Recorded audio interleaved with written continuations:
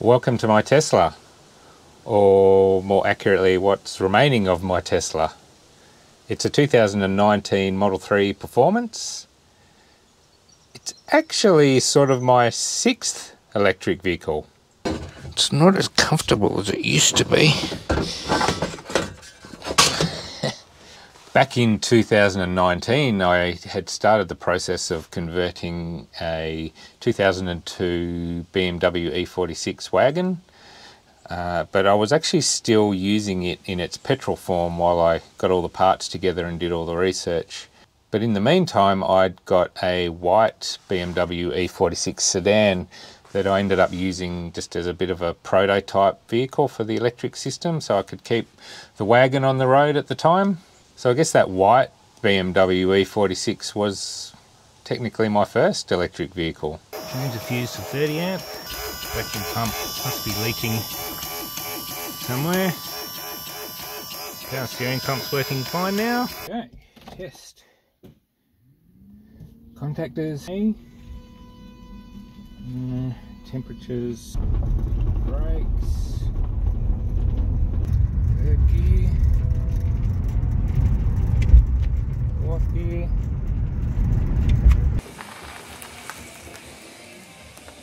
Then there was the two hail damaged Nissan Leafs, one which I'd register and we'd use as our main car, the other one I parted out uh, planning to use the parts for that for the Land Rover conversion. So I guess they were two and three. Then after that we got the MG ZS EV because we, we needed the longer range. So I guess that was number four. We didn't really need the Leaf anymore, so that became my mum's first electric vehicle, which worked out really well. Uh, then in 2021, I actually finished the conversion on my BMW wagon. Let's strip in the BMW wagon. It on.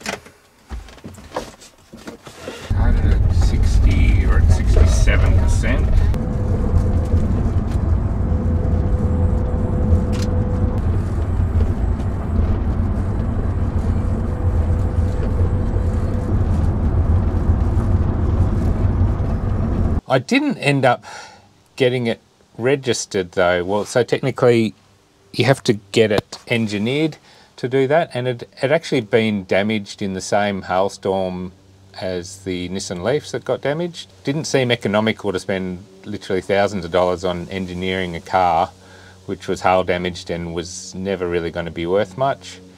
Um, but that was okay because that car became and is still our massive power wall for our house. Uh, it's got 42 kilowatt hours of uh, recycled laptop batteries, so that's equivalent to three Tesla power walls, so it's brilliant as a home power wall. So it's just sort of sitting there uh, soaking up solar during the day and powering a house at night, so it's actually worked out well. And it actually didn't cost me a lot. It was a, a real budget build, that one. Um, and I got a lot out of it just from the fun of doing it and learned heaps. So it actually did work out in the end, even though we don't use it as an electric car. So, but technically, I guess that's that was my fifth because I have driven it. I then decided that um, the parts that I'd got out of the second Nissan Leaf for the Land Rover conversion weren't really a good fit for the Land Rover. So um, I started looking around for Tesla Model 3s. So a good way to find uh, salvaged vehicles and salvaged EVs is um, there's two main places, Manheim's and Pickles. They do salvaged auctions. So I was keeping my eyes open on those and quite a few came up, but none at the price I wanted it or the specs I wanted.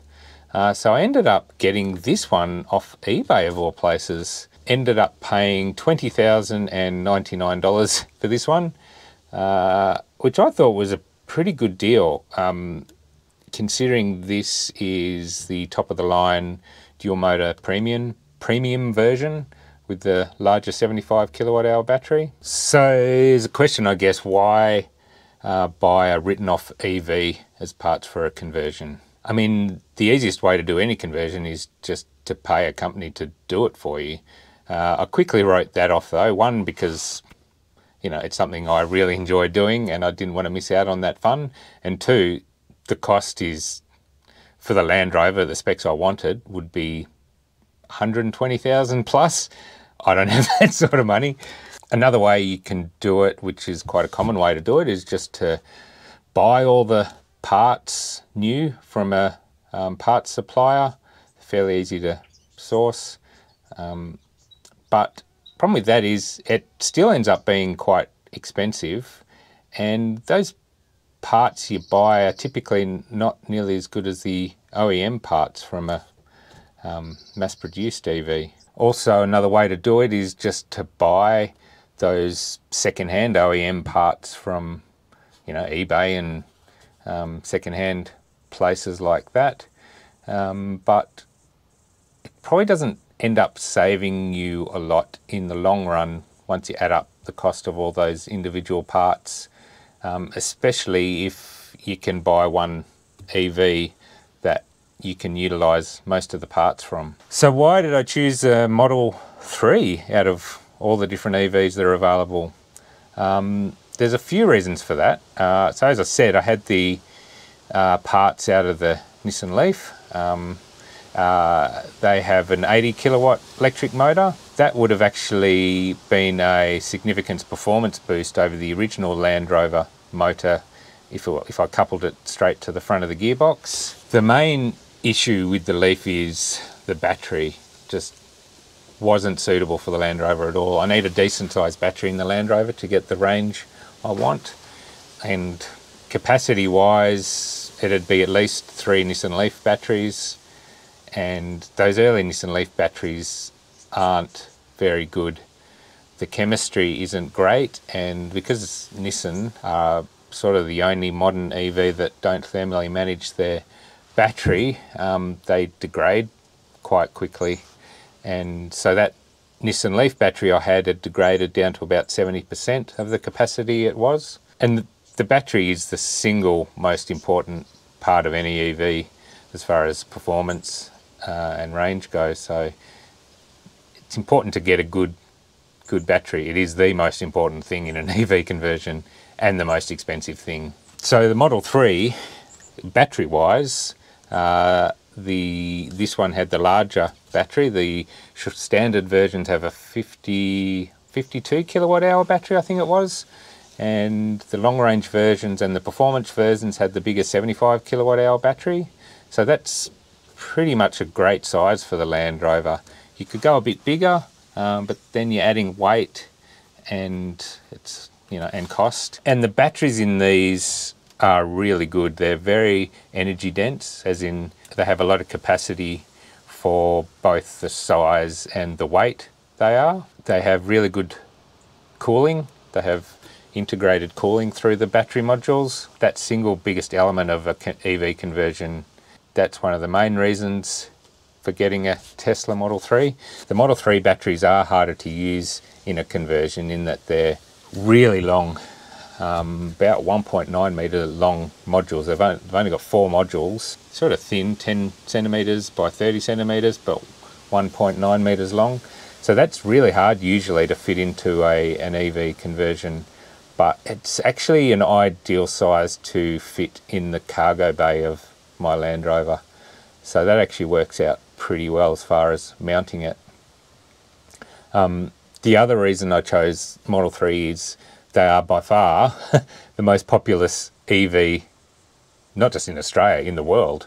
There's going to be more of more salvaged Tesla Model 3s than any other car in the near future. It seems like a good opportunity to reuse those parts and it's much more environmentally friendly reusing something like this than just buying new parts off the shelf. Also, all the other components in the Tesla Model 3, the motors are very good. These have two motors. I'm actually only going to be using one of them, the rear motor. They're very well thermally managed. They're really well designed. I think they're a mixture of permanent magnet and induction motor. Uh, they're very efficient, very small, heaps more power than the Land Rover will need. So the Model 3's drive unit, the rear one that I'm going to use, it's an integration of the motor which goes out to a single reduction gear which goes to a differential and it also combines the uh, motor inverter, the control for the motor, uh, in a very small compact package, um, which is going to be really suited to how I'm going to uh, incorporate that into the Land Rover. Um, so rather than do the traditional method of just getting an electric motor and um, grafting it to the front of the original gearbox, um, the Tesla drive unit, the whole Tesla drivetrain, is going to replace the whole engine, gearbox, transfer case, center diff, the whole thing.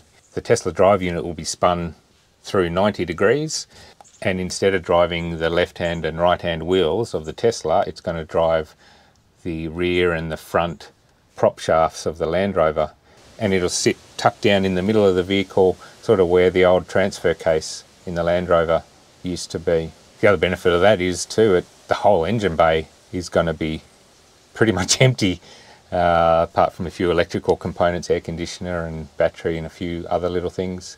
So yeah, heaps more storage room up, up in the engine bay. There are a few modifications I'm going to have to do to the Model 3 drive unit.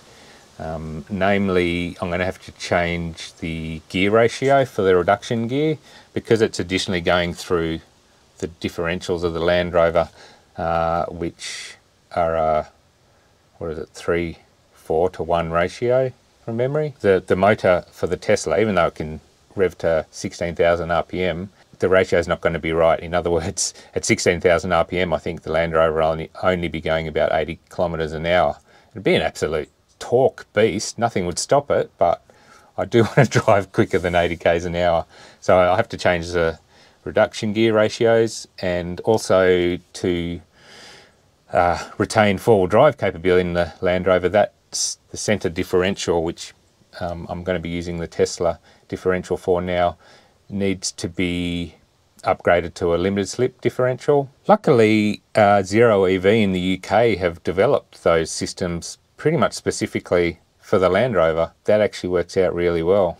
I'm actually going to go a step fur further with the utilisation of this Tesla um, and all the components. So the easiest way is just to, you know, use the battery and the motor, the big components. But to do that, you need to get an aftermarket controller. You can't use the original car's controller. If the car, the car computer, it needs to see the whole car as a whole, otherwise it'll get upset and throw warnings. So I'm looking at pretty much integrating the whole Tesla system, uh, motor, battery, computers, air conditioning, entertainment system, audio system, all the electrical components pretty much. It's sort of or a bit all or nothing. If you want to use the Tesla's original computer systems, they're expecting to see all the systems.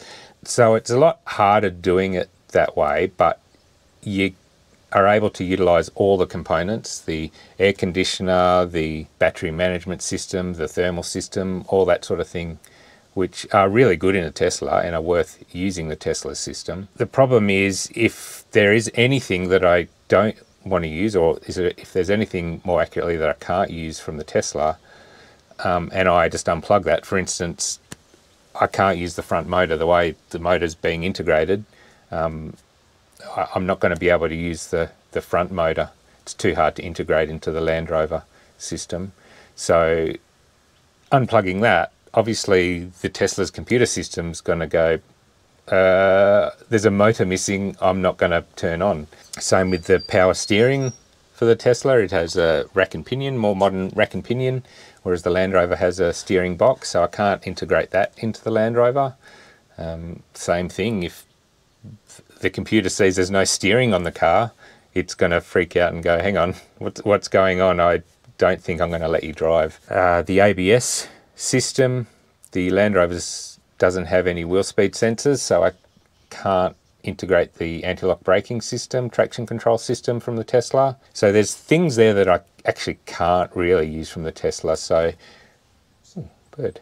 Um, so the computer is going to get upset at that. So to get around that, it's basically a case of emulating those systems. In other words, sending signals to the main Tesla's computer, pretending to be those components, to pretending to be the front motor, um, sending signals to say, yeah, front motor's still in, everything's okay.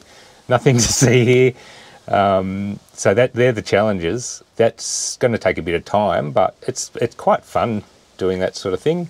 Um, hacking into the computer systems, especially using a Tesla, it's worth trying to um, incorporate all those components because Tesla has a lot of cool features that I really do want to use in the Land Rover, um, like the the touch screen system, uh, in-car entertainment system, uh, navigation system, the heated seats, the yeah the air conditioner system, and Tesla have a really good thermal thermal management system which utilizes air conditioning to cool batteries and motor to heat batteries and have very good integration of those components. It's very well thought out and the software written for the Tesla is really good. Um, it's got a 14 speaker premium audio system in this because it's the the uh, performance model and it sounds friggin' awesome. Bluetooth, it's got lifetime uh, internet connectivity, climate control systems.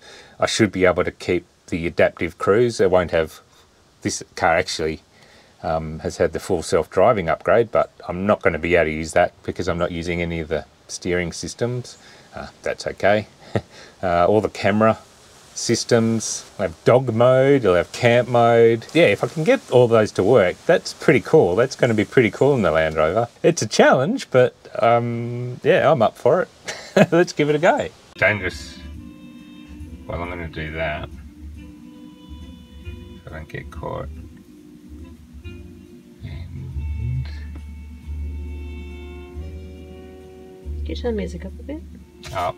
So in the next video, we'll go back in time to before I'd pulled all the parts out of this when it was actually a driving car and do all the computer hacking and getting into the CAN bus systems and working out how everything works. So yeah, that'll be lots of fun. Thanks for watching and we'll see you in that one. Oops, fallen off this piece of wood.